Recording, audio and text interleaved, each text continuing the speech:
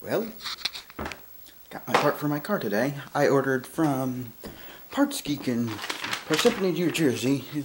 Shipping invoice you guys don't need to see, but got my Bosal part because my wagon's been acting up recently, so I thought I'd share with you guys on YouTube and everything what I got. Needed new catalytic converters, so I thought I was going to spend a fortune, but I found a place that will give you decent price. Check them out. They're um, Parts Geek. You can find them on the internet. They have a lot of parts for your cars, no matter what it is, at discount prices. So I got my catalytic converter kit. Now, I didn't feel like buying just the cats themselves, one by one.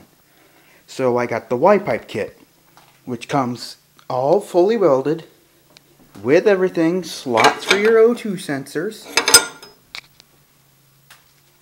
slots where the exhaust manifolds go, all nice, came in a big ass box, really good shipping. I ordered it on, say, Monday, got in on, had a little trouble with card payment, that was about it. It's my fault. Um, but ships in two days, two or three days, you'll get it via UPS. So highly suggest you guys check them out. I'll put the I'll put the link down at the bottom. It's like right down there. Okay. Really good parts company. Okay. I'll update you guys again when I get some more parts for this car. Okay. Bye.